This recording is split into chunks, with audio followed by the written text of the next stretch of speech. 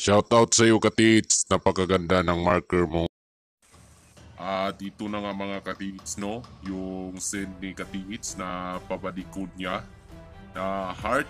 At baka sa susunod na araw mga Katits ay puntahan namin yan mga Katits. Kasi malapit lang dito sa amin at yung digging spot namin ay binaha mga Katits. At hindi natapos siguro dito kami pupunta mga katiits kasi wala na kaming digging spot na operasyonan mga katiits. Ididikod muna natin ito sa kanyang sinid na picture na legit na heart. Yan mga katiits o oh, tingnan nyo yung kanyang hugis. Isa siyang heart mga katiits. Isang napakagandang marker mga katiits. At meron siyang guhit sa kanyang pointer mga katiits. Tapos pababa. At mayroon pang treasure point mga katiits. Ayan o. Oh, sa baba ng malaking butas mga katiits. Isang man-made na gawa mga katiits. Ang pagdikod nito mga katiits ay susukatin mo yung guhit na pa straight mga katiits, yan mga katiits, susukatin mo yung pa-straight, wag mo lang isama yung baba mga katiits. Kasi yung straight na yan mga katiits na nasa kanyang pointer, yan yung distansya mga katiits na digging spot. At yung guhit sa baba mga katiits ay yan yung pagbaon nila mga katiits. Yan yung lalim. At mayroong treasure point mga katiits isang napakagandang marker mga katiits. Isang heart means treasure, tapos merong dis merong guhit na distance sa pagbaon at sa lalim. Pa inch to meters yan mga katiits. Translate to meters ang inch mga katiits. Possible mga katiits yung guhit na nasa taas mga katiits. I think mga 4 inch equivalent to wire 4 meters mga katiits. At yang sa baba, parang mga 5 5 mga katiits. 5 ang kanyang lalim, mga 5 feet mga katiits, no? At yan mga katiits, oh, parang may napapansin ako, may box dyan mga katiits na na nagsasabi na mayroong isang sign dyan mga katids na isang kahon. Possible, yan yung digging spot ng treasure mga katids. Dyan sa gilid oh, parang may napapansin ako mga katids. At yun lang mga katids. Pupuntahan yan namin next day mga katids kasi nag ano pa kami, naghahanda pa kami sa aming mga kagamitan mga katids. At yung mga kasamahan ko ay pupunta na dyan mga katiits. At sasama rin ako kasi ako yung decoder ng treasure marker mga katiits. At yun lang mga katiits. Magandang araw mga katiits ano. At ngayon mga katiits ay pupuntahan na namin yung heart na marker, means treasure mga katiits at may dala na kaming mga kagamitan mga katiits. At ayun nga mga katiits, dinala na ni katiits yung ating mga locator. At doon mga katiits ay didecode lang natin. At kasi sa tong ano mga katiits eh, decode lang ang ating channel na to, analyzing the marker o Yamashita's treasure mga katiits. At yun, operation na namin yun mga katits. At yun lang mga katits. Don't skate mga katits. Panuorin nyo. Uh, ipa, ipapakita ko sa inyo mga katits kung anong mayroon ba kaming makukuha doon mga katits na possible treasure mga katits. At tsaka ibabahagi ko rin sa inyo yung mga marker na posibleng makuha namin noon mga katiits. At yun mga katiits, pupunta na kami. At dito na nga mga katiits, nakaabot na kami at naglakbay kami sa creek mga katiits para mapuntahan tong site na to mga katiits. Malayo pala mga katiits. At kararating ko lang at ididikod na natin mga katiits. Una nga mga katiits no, na kaabot na tayo sa My Heart na bato mga katiits. Ito ngayon ang ating tatalakayin mga katiits na isang marker mga katiits, isang treasure mga katiits. At sa nakikita ko mga katiits, isa tong legit marker mga katiits. At ito ang ating operasyonan ngayon mga katiits. Meron tayong dala ngayong gamit mga katiits. At ang, ang pagdikod dito mga katiits ay ito yung kanyang distance mga katiits ang layo ng kanyang paghukay ang ating digging spot mga katit. Dito ang ating digging spot, ang layo nito. Feet by meters mga katits. At ito ang kanyang lalim mga katits. Nakikita nyo mga katits, isa siyang heart. Tapos may box siya dito mga katits. Box na marker. Possible mga katits, meron silang nilagay dyan na bato na box mga katits na, na kahon. Subukan nating sukatin mga katits. Meron tayong kagamitan na dala mga katits. Ito mga katits. Susukatin natin.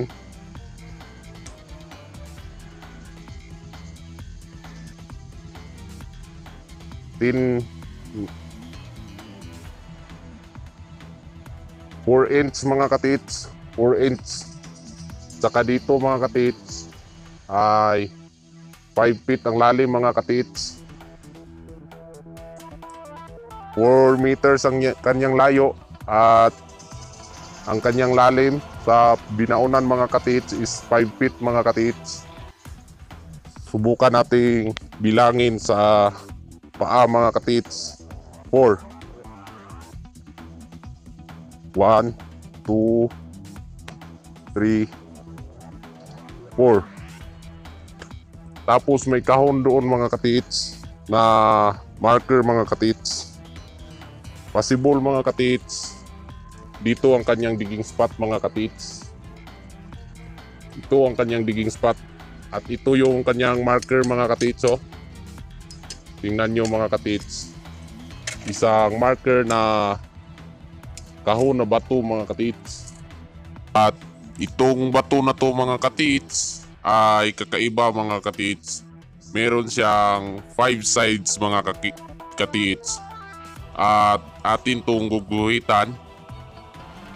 Isang star mga katits ang mabubuo sa kanya mga katits na symbol sa mga general na nasa kanilang mga hat mga katiits lang ka, kalo mga katiits sa mga general na dito ang ating digging spot mga katiits is at itong maliit na hugis box mga katiits na nasa ibaba isa din siyang five side mga katiits.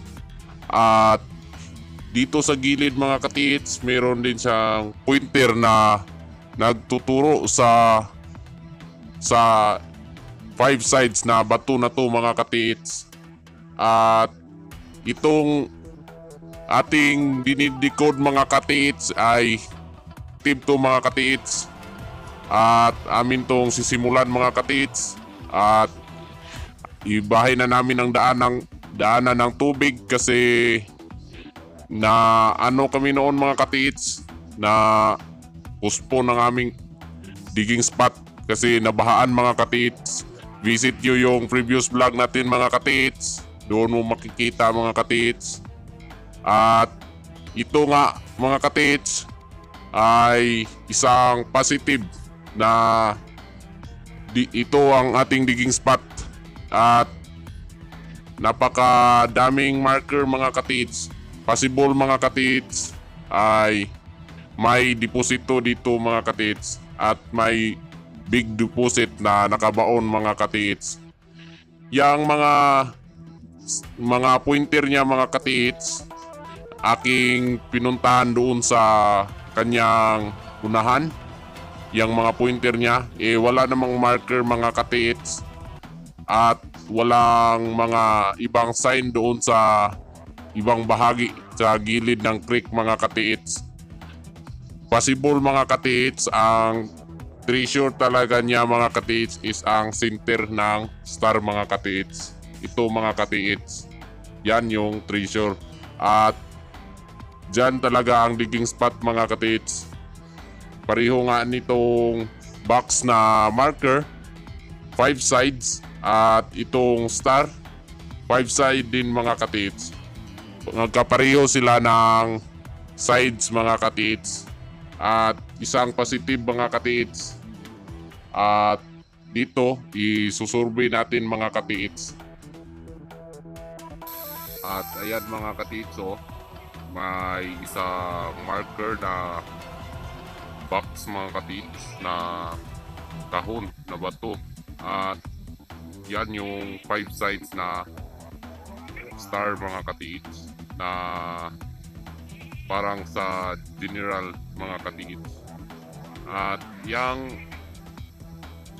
ano mga katits yung isang bato na yan ay parang pointing down. Madami siyang marker mga katits na nag nagtuturo sa dyan na parte mga katits at yan ding isa mga katits oh, ay dyan din siya nagtuturo sa sa kahon na yan mga katits madami siyang mga pointer na sign marker ng bato mga katits dyan mga katits hukayin namin yan dyan at lalakihan namin ang hukay para hindi kami maliban mga katits at possible mga katits ay meron kaming maano dito? Mapapala. Isa nung nagukay kami doon sa malaking creek mga katits at naabutan kami ng baha mga katits at hindi na tapos ang aming paghukay sa may creek mga katits at yun nga mga katits na galit ang ating ano boss doon mga katits kasi hindi natapos ang ating pag operation at tawagan ko yung aking mga kasamahan.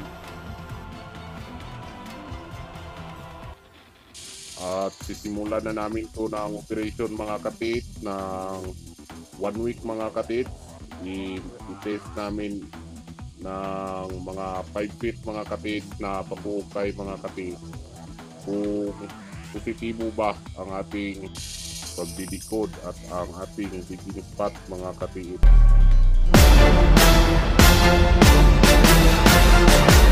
yung nakuha namin mga katits ano, na marker pag kaabot namin sa 3 feet mga katits na paghukay doon mga katits at isang blue na bato mga katits at tapos mayroon siyang marker dito mga katits ayan katits oh. kita nyo mga katits napakagandang marker mga katits at ano kaya itong bato na to mga katits some blue matigas siya mga katits at possible mga katits ito ay ginawa lang marker ng hapon mga katiits na pagbaon nila doon mga katiits. Ayan mga katiits. Ano kaya to mga katiits? Isang marker. At saka meron din kaming isang nakita mga katiits. Ito mga katiits oh. Isang pointer na itim na bato mga katiits. Pointing pababa mga katiits. Ayan mga katiits oh. May mga butas-butas. Isang box din na, na bato mga katiits. Marker. Na five sides din siya mga katiits. Now, is 1, 2, 3, 4 sides lang pala mga katiits. 4 sides mga katiits. 4 sides. At saka pointer dito. Kababa to siya mga katiits. Kaganon. At possible itong dalawa ginawang marker at papunta pa sa ibaba mga katiits. At kakaiba to mga katiits kasi parang may ano eh nilagyan ng bato. Hindi pa namin to na ano hinati. Ah, it, itik muna namin to. Saka itong bato na to mga katips kung ano tong blue na bato na to mga katips tas may marker. At sa 5 feet mga katiits ay meron din kaming nakuha mga katiits na isang box na bato mga katiits na halo pag yung inano na dinalo ng isang bato mga katit ng maso. Halo talaga siya mga katit. Gaya nga nung nakuha ni Katit Yuzap Yamato ay mayroong laman yon sa kanya mga katit na nasa loob may budha mga katit. At merong laman do, noon sa Buddha mga katips. Naka-jackpot siya mga katips. Possible, merong laman yung box na aming nakuha mga katips sa 5 feet mga katips. Ito mga katips oh. Ito yung nakuha namin mga katips ano, na may marka doon sa likod na isang box mga katips, isang marker. At pag yung pinalo mga katiits, isa siyang halo mga katiits. Ito yung nahukay namin sa 5 feet mga katiits doon sa may marker na heart mga katiits. Ayan mga katiits oh. Isa siyang halo mga katiits. Napakaganda mga katiits.